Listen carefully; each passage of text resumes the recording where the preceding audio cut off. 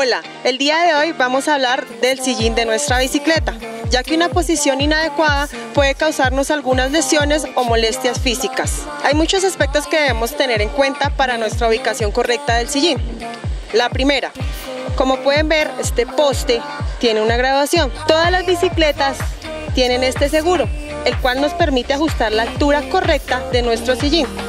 ¿Cómo lo vamos a hacer? De la siguiente manera. Nos ubicamos de una manera lateral hacia nuestro sillín.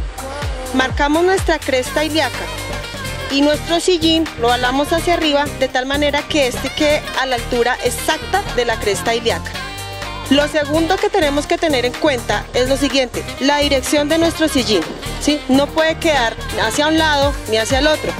¿Cómo lo vamos a hacer de una manera muy fácil? Vamos a ubicar nuestro antebrazo de tal manera que sintamos en nuestro codo la punta de nuestro sillín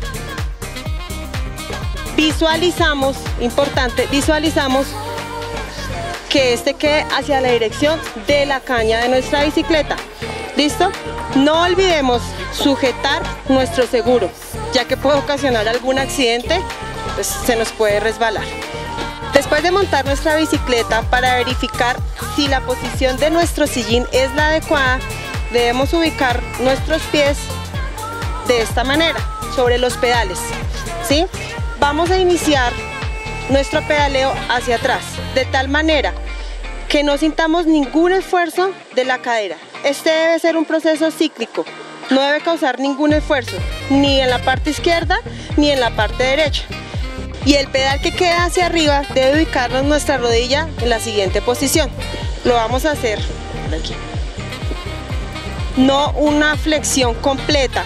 Si queda la rodilla muy arriba, indica que nuestro sillín está muy alto. Y si nuestro sillín queda muy abajo, nuestra rodilla va a quedar así.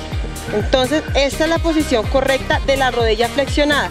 Y esta es la posición correcta de nuestra rodilla en extensión. Bueno, espero que estas recomendaciones les hayan servido y que sirvan para su futuro pedaleo. Nos vemos en una próxima ocasión. Adiós.